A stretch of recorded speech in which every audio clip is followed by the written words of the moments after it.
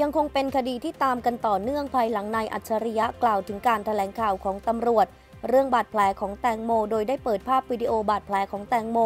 ระบุว่าแผลตรงบริเวณขาด้านขวาของแตงโมเกิดจากใบพัดเรือ ซึ่งไม่มีความเป็นไปได้ เพราะหากเป็นแผลที่เกิดจากใบพัดเรือจริง เหตุใดจึงไม่มีการเก็บ DNA จากใบพัดเรือไปตรวจสอบ อีกทั้งยังได้มีการนำภาพของผู้บาดเจ็บในต่างประเทศมาอ้างว่าโดนใบพัดเรือ และอ้างว่าคล้ายกับบาดแผลของแตงโมซึ่งเป็นความเท็จ เพราะข้อเท็จจริงคือบาดแผลดังกล่าวนั้นเกิดจากใบมีด ถือเป็นการแถลงข่าว fake news ถามตำรวจไม่อายหรือปล่อยข่าว fake news ไปทั่วประเทศอาจเข้าข่ายความผิดตามมาตรา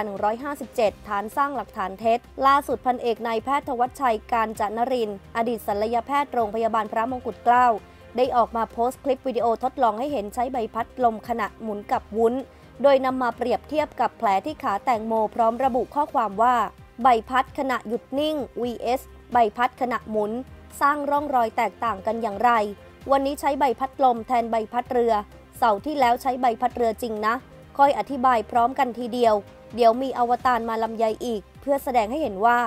เมื่อกดใบพัดที่หยุดนิ่งลงบนวุ้น เปรียบเทียบกับใบพัดขณะหมุน ผลลัพธ์มันเป็นอย่างไร เพราะฉะนั้นใครเอาใบพัดเปล่าขณะหยุดนิ่งไปทาบกับบาดแผลหรือกดลงบนดินน้ำมัน แล้วมาสะกดจิตว่า เข้าได้กับใบพัดเรือ อย่าไปหลงเชื่อนะครับ ต้องใช้ร่องรอยบาดแผลจากใบพัดขณะหมุนมาพิจารณาเท่านั้น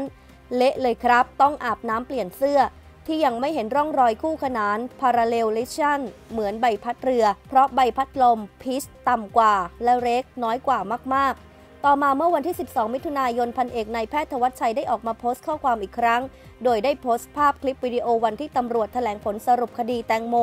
ช่วงหนึ่งที่พูดถึงเรื่องบาดแผลพร้อมเขียนข้อความว่าเอาเบลดของใบพัดเทียบกับบาดแผลแล้วบอกว่าเข้าได้ 21.5 เซนติเมตร vs 26 เซนติเมตร ทั้งที่ของจริงใบพัดหมุนติ้ว เอาแผลไปเย็บเป็นรูปตัว S แล้วเอาใบพัดไปหมุนเฉือนบนดินน้ำมันได้เป็นรูปตัว S ลักษณะเดียวกันอีก ไปให้สุดเลยครับ ให้ชาวโลกรู้ที่มาของคำว่า Amazing Thailand